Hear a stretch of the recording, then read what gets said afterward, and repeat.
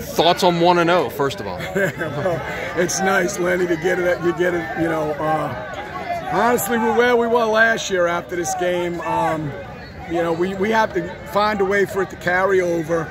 We have a lot of work to do. You know, to, we put the ball on the ground way too much yet again, but it's part of the cost when you're running triple option football. All right.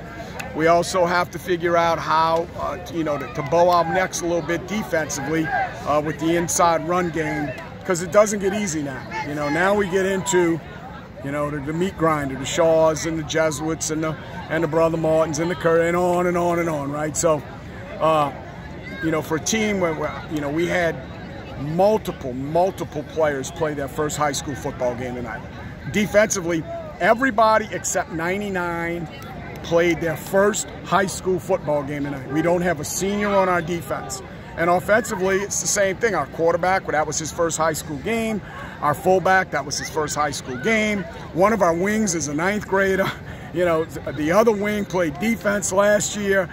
Both of our receivers, that was their first high school games. So I feel like we're going to be better. You know, it's, it's a process through this season. Not playing these last couple of weeks hurt us because we needed those reps in practice.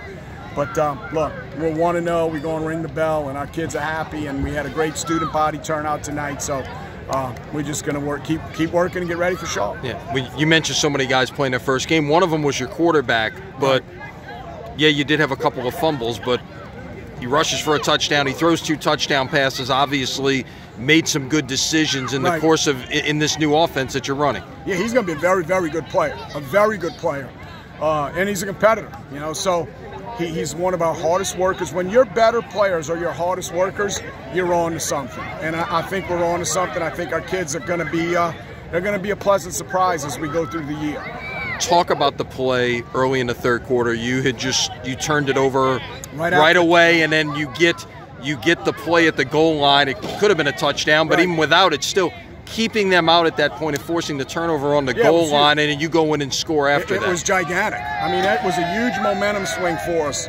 Uh, but even on that, we get a block in the back, right? So uh, I, we we have to get better defending inside run. We're, we're struggling defending inside run. Um, but again, I think a lot of that has to do with, other than 99, you, are talking about guys that they've never had that kind of tempo come at them. They've never had that kind of um, physicality come at them. You can't duplicate that at practice, right? You're going to show up with 30 guys on Friday night. So for us to get through it like we did and battle the way we did with all those kids, you know, and I look at it all the time and I try to think about this year, Lenny. I think about this year, this year, this year. But to know everybody on our football team, we have 88 football players on our football team, 75 of them return out of 88. So we're, we're in the right, we're, we're right where we need to be. I don't know where we'll be at the end of this year, but I know where this program's going with that type of number returning for football.